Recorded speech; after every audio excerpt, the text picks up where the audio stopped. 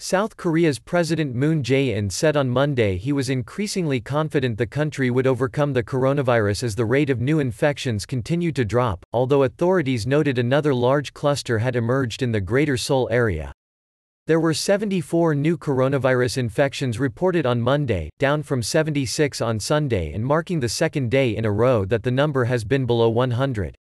That is well below a February 29 peak of 909.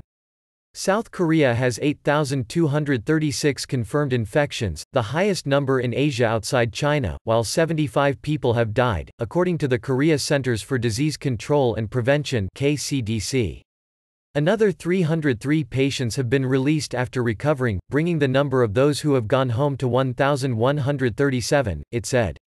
Unless there are unexpected developments, we expect this trend will also gain momentum. Moon said during a meeting with health officials at Seoul City Hall.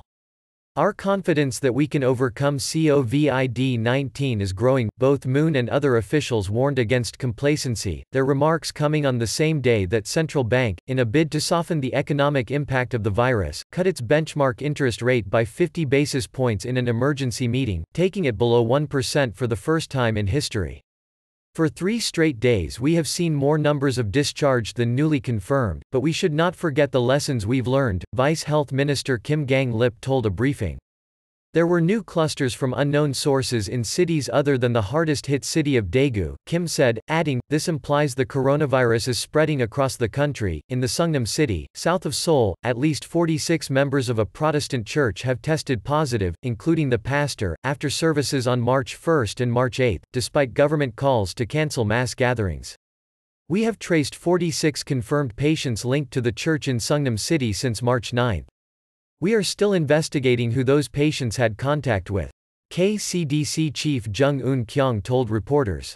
40 other people who came in contact with infected church members also tested positive, he said, noting the cluster was the second largest in the Seoul metropolitan area.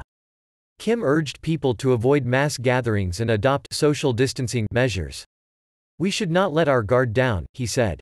This week, South Korea adopted tougher border checks for visitors from Europe, similar to its rules for travelers from China and Iran. On Sunday, it classified the worst-hit provinces as special disaster zones, allowing the government to subsidize up to half of restoration expenses and exempt residents from taxes and utility payments.